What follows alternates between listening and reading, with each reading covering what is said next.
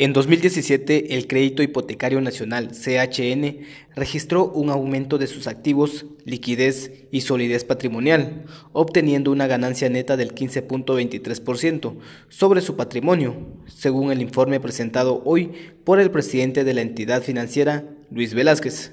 A decir del banquero, con estos resultados el CHN está listo para competir y ser rentable en el sistema financiero nacional y así apoyar a las MIPIMES y ser una banca para el desarrollo del país.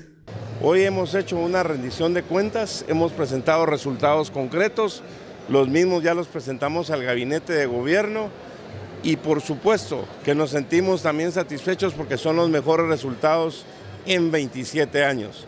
Hoy Crédito Hipotecario Nacional de Guatemala está listo para competir con el sistema financiero y para apoyar a las micros, pequeñas y medianas empresas. Es decir, ser la banca de desarrollo que necesita el país.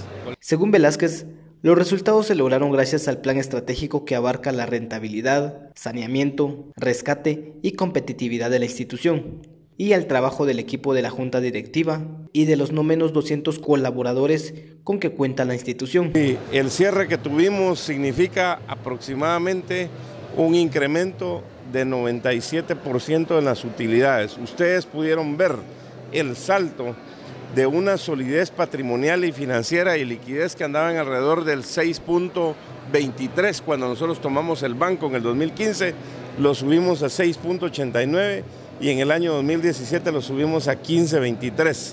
Eso es una ecuación que para ponerlo de una forma fácil, el total de los activos, el total del patrimonio versus los ingresos netos. Esos ingresos netos obviamente son los ingresos totales menos los costos, impuestos, etcétera, y le hemos devuelto esa rentabilidad que el banco necesita.